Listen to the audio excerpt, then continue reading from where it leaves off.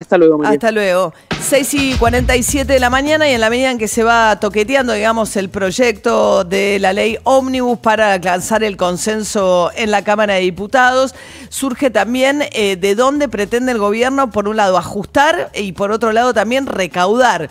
Eh, recaudar con retenciones, que es lo que tiene este, eh, un poco levantados a los gobernadores porque no coparticipan, no reciben dinero de las retenciones y afecta a sectores productivos de las provincias, con lo cual salieron a decir desde el gobernador Puyaro que no apoyan la suba de retenciones, que es el impuesto a las exportaciones, pero para recaudar viene la reimposición, el regreso del impuesto a las ganancias, con nuevo nombre. Es se va a llamar impuesto a los ingresos, con lo cual va a haber una afectación del salario bolsillo de aquellos que ganan por arriba de 1.350.000 pesos. Ismael Bermúdez es economista, es periodista especializado en estos temas. Vamos a hablar un poco de jubilaciones también con Ismael. Buen día, Ismael. Hola, ¿qué tal? Buen día, María, ¿cómo andamos? Bien. Bueno, arranquemos sí. con ganancias. Hay 800.000 personas que volverían a pagar ganancias. Si es que Hay- el Congreso lo aprueba tal cual, ¿no?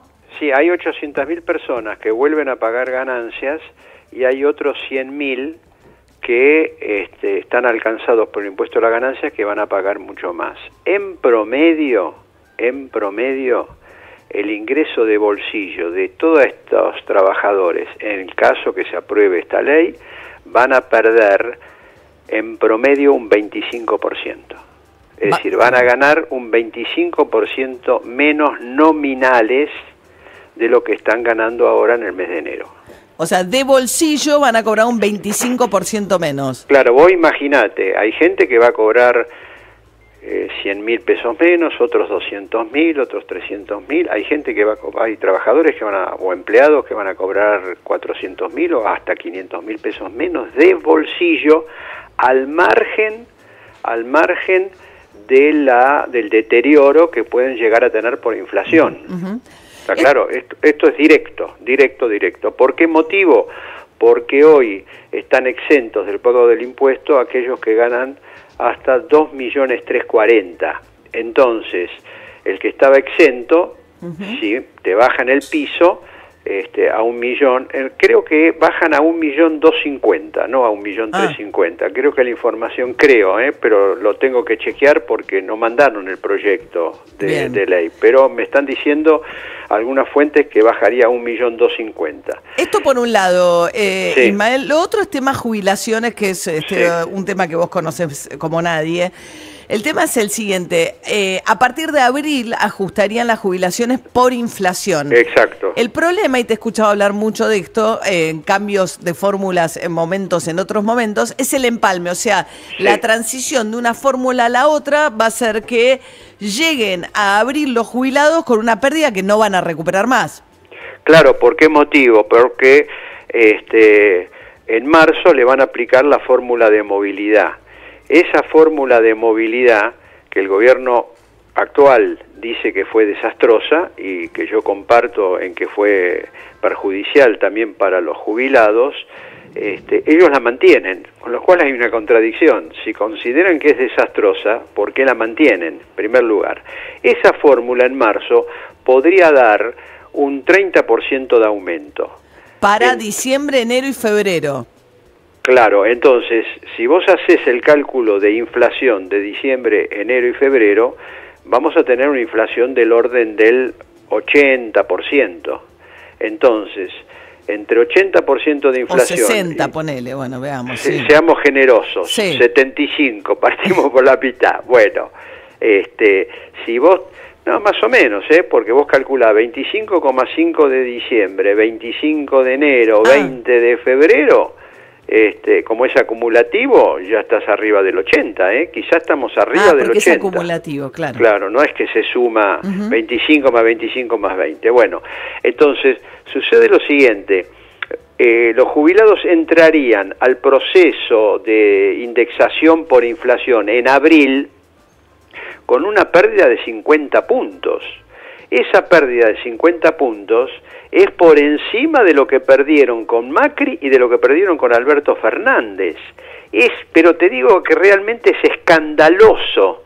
Si vos haces la cuenta final, la cuenta final, lo que perdieron con Macri, lo que perdieron con Alberto Fernández y lo que van a perder en este trimestre de mi ley, ¿eh? sin contar el bono, sin contar el bono, la pérdida es del ah, llega hasta el 60%.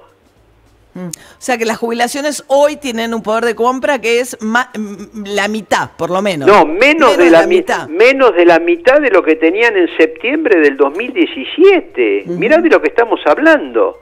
Y en lugar de rectificar esto, reconocer que hay este, una deuda retroactiva pendiente de los gobiernos anteriores, lo que hacen es bajarla todavía más, pateando para abrir la indexación. Ahora, ojo también con la indexación. ¿Por qué motivo? Porque la indexación por inflación, ¿qué significa? En principio, si te dan la inflación, uno dice, bueno, bárbaro, no pierdo poder adquisitivo. Pero eso perpetúa de por vida, de por vida, el 60% o hasta el 60% que perdiste en los últimos seis años. ¿Por qué motivo? Yo... por el último índice de inflación conocido, en, inflación muy alta, eso significa, o sea, por ejemplo, el número de diciembre se conoce el 10 de enero, con lo cual en febrero cobrás con la inflación de diciembre, no con la de enero. Después, no, vas como un No, no, no, no, no, no, no, no. En, abril, en abril, si te dan la inflación, te van a dar la inflación de febrero. Febrero, por eso. O sea, en abril. O sea, también ahí hay un desfase. Claro, ¿Por qué motivo? Bueno, porque la inflación de febrero, el INDEC la da a conocer a mediados de marzo. Sí, sí, lo mismo que estoy diciendo yo. Puse un ah. ejemplo anterior, pero lo que quiero decir es siempre vas un mes más tarde. porque sí, acá, acá irías un mes y 15 días más tarde. Eso, eso, claro. Bueno, ahora, sucede lo siguiente. Esto que dicen, qué bien, qué bueno que te dan la inflación. No, si vos me das la inflación, estando yo con una pérdida del 60%, yo tengo esa pérdida para siempre. para siempre de por vida. es una pérdida vitalicia. Y ahí claro, y ahí hay gran parte del recorte del gasto público. Va a caer. No, lógico, lógico, lógico. Bien. Y Ahora, la jubilación de privilegio del presidente y la vice, pero no los integrantes de la Corte Suprema de Justicia de la Nación.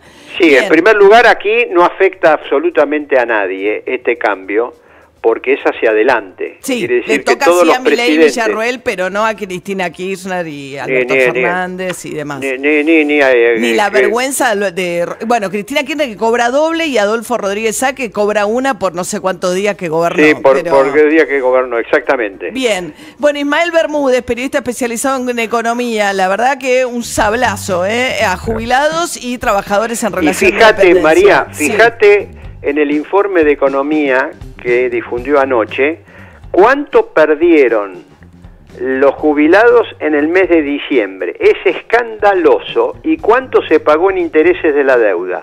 Te doy un dato.